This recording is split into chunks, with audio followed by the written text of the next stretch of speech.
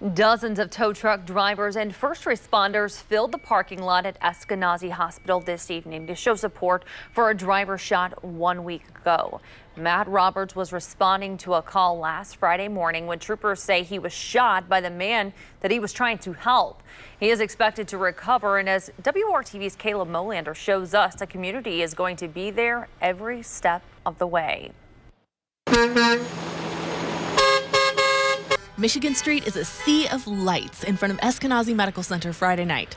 Dozens of tow truck drivers and first responders are pouring into the parking lot to show support for one of their own. Matt's very well loved. So honestly, I can't wait till he gets to the window of his room tonight to see all those lights shining down to show that we love him and not only his little garage family, but the entire community and uh, other towers are all behind him and waiting for him to get recovered. Matt Roberts is recovering at Eskenazi after being shot on the morning of March 25th. State troopers say Roberts was in his tow truck on I 70 when he was shot by the man he was trying to help.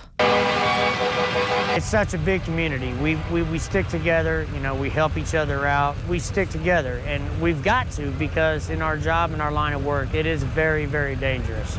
Uh, there's a lot of drivers that get hit. Chuck McGinnis organized a parade of trucks to fill the parking lot outside Roberts' window. The group held signs, honked horns, and gave thanks. The suspect is behind bars, and Roberts is expected to recover, and his community will be there every step of the way. He hasn't been into the business that long, but it don't matter if you're in here one day.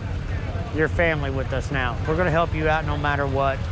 We stick together. So we, we, have got to. One way or the other, we've got to stick together. Working for you, Kayla Molander, WRTV. Indiana State Police has not released any more details about the shooting or why the suspect fired at Roberts. But as we learn more, we will keep you updated on air and online at WRTV.com.